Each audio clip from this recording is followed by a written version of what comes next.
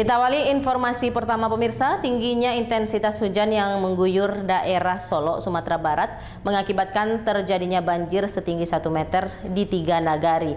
Banjir yang disebabkan oleh meluapnya sungai Batang Lembang ini meredam ratusan rumah warga. Puluhan kepala keluarga pun terpaksa dievakuasi.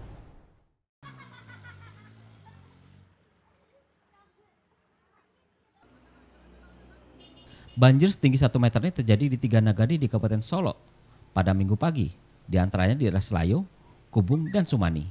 Di nagari Selayo ini ketinggian air mencapai hingga pinggang orang dewasa dan merendam ratusan rumah. dalam banda tapi Pak, ada berapa rumah Pak di sini Pak? oh banyak oh banyak ada Iya, banyak Ada berapa Pak? banyak udah ratusan rumah dalam Ratusan rumah ya? ya banyak. Untuk sementara warga mengungsi atau gimana Pak? oh ngungsi rumah masing-masing ya Rumah tetangga ya? Ah, masing-masing ya Ketinggian air berapa Pak? ya sekarang lebih sini dalamnya lebih kurang dua satu setengah meter nih lah Satu setengah meter ya? Ah, ada- Cari jam berapa ini Pak kejadiannya Pak? kejadiannya naik air tadi jam jam 4 eh, subuh lah Subuh ya? nah, Ini meluap di sungai apa nih Pak? petang lemang nih Berdasarkan keterangan dari Kepala BPBD Kabupaten Solo, banjir ini disebabkan oleh meluapnya sungai Batang Lembang karena tingginya intensitas hujan yang mengguyur daerah Solo sejak Sabtu malam hingga minggu kemarin. Setidaknya terdapat sebanyak 200 rumah warga yang terendam banjir di tiga negari di Kabupaten Solo. 37 orang kepala keluarga di antaranya telah dievakuasi petugas BPBD dan relawan kebencanaan Kabupaten dan Kota Solo.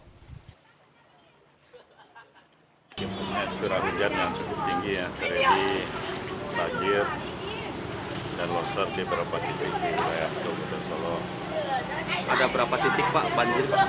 Ya banjir ada ya tiga titik Di mana aja Pak?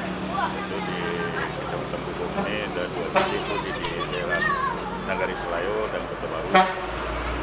Kemudian semalam juga ada di daerah Mani Mani. malam semalam. Untuk ketinggian air Pak? Ya kurang satu meter Satu meter ya? Banjir ada berapa rumah Pak yang terendam Pak? 275. Dari Kabupaten Solo, Budi Sundara Ainus melaporkan.